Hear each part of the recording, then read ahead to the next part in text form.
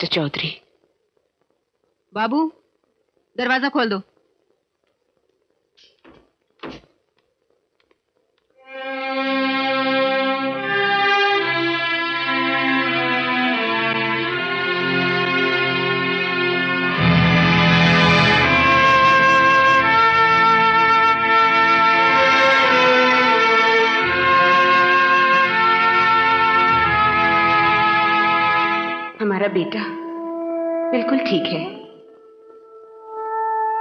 कहते हैं छूट जाएगा वो। कितना गर्व था ना आपको। अपनी सच्चाई, अपनी ईमानदारी पर। खूब अंजाम दिया आपने अपने फ़र्ज़ को। कितने मेडल, कितने तमगे जुटा लिए आपने। आप अपनी बहादुरी के इनाम लाते रहे। और मैं सजाती रही घर को। अपने घर को, उस घर को, जो आज मुझे काटने को दौड़ता है। आपके फ़र्ज़ ने मेरा सब कुछ तो छीन लिया। कितना सुख मिल रहा है ना मुझे। आज आपकी ये हालत देखकर। विशाल को कोर्ट में वो सब नहीं करना चाहिए था, रेवती। आपको अब भी विशाल का गुस्सा करना जायज़ नहीं लगा? भरी अदालत में आपका मज़ाक बनाया गया। आपका बेटा जो आज आपके बराबर का हो चुका है वो ये सब कुछ तमाशे की तरह देखता रहता। अगर वो वहाँ देसाई को मार भी डालता तब भी मैं उसे ठीक ही मानती। मैं उसे ठीक ही मानती। रेवती। और कितने इम्तिहान देने होंगे मुझे। आपकी पत्नी होने का और कितना भुगतान करना होगा मुझे। आप सारी ज़िंदगी जिस कानून की दुहाई देते रहे, वही कानून आज तहर बनकर मेरी दुनिया में टूट पड़ा। एक तरफ़ आपको अपाहिज बनाकर इस अंधेरी दुनिया के कोने में बिठा दिया गया, और मेरे बेटे को, मेरे बेटे को, मेरे बेटे को।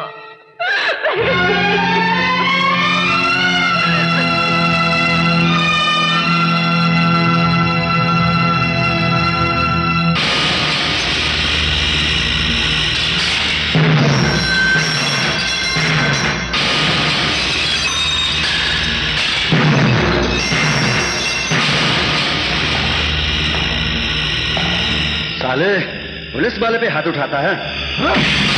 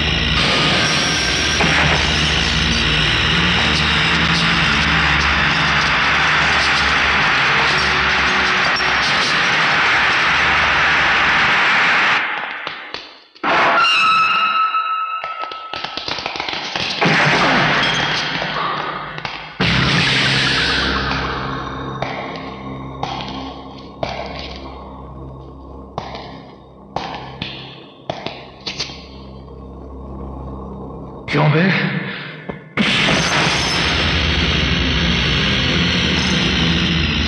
तू क्या समझता है? कि गुंडागर्दी सिर्फ़ तेरे को आती है हाँ?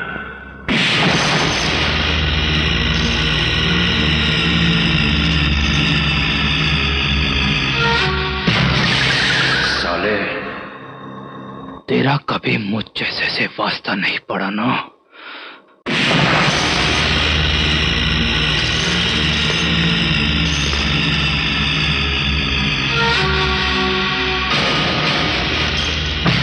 शुरुआत है साले। शुरुआत जब तक तेरे गर्म खून को ठंडा नहीं करूँगा कॉट की तारीख नहीं पड़ेगी।